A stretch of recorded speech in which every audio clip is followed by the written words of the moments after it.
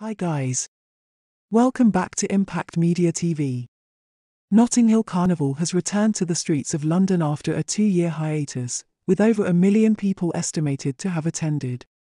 Europe's biggest street festival was cancelled for the last two years because of the pandemic, with smaller celebrations taking place online. But finally, the music and the floats were back. The huge street party was definitely back to its former glory with music, dancing, parades, and extravagant outfits.